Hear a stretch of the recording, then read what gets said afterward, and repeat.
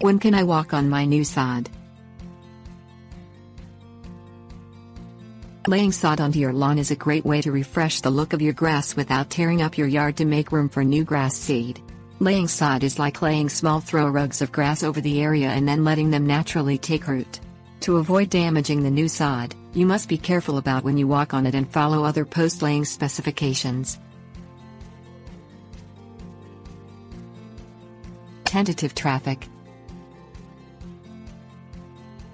Technically speaking, you can walk on your new sod as soon as you have laid it in place.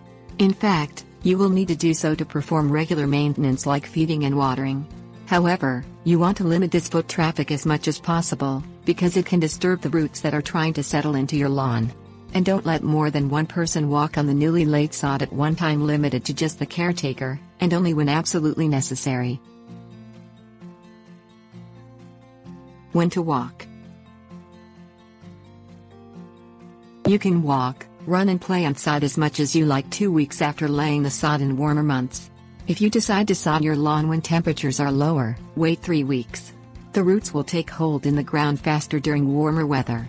Waiting the appropriate number of days ensures that your sod firmly embeds in the ground and won't shift or suffer broken roots due to foot traffic. Water well. If you are watering your sod properly immediately following installation, you won't want to walk on it any more than is necessary for maintenance purposes. If watered properly, your sod will be squishy and you will sink in when you walk on it, so wear shoes that you don't mind getting muddy. When you water the new sod, you need to saturate not only the layer you just installed but the soil underneath, so that the sod roots can still access water as they penetrate the soil. Surface watering will result in shallow roots and wilting grass, so the sod should be consistently moist for the first few weeks after installation.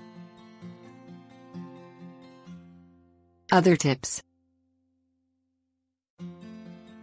By the time you can walk freely on your sod, it will probably be time for the first mowing.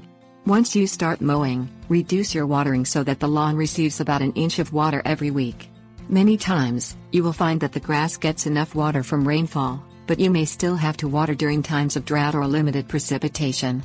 Even in the worst drought and highest heat, you should need to water an established sod lawn only twice a week, three times in completely desperate situations.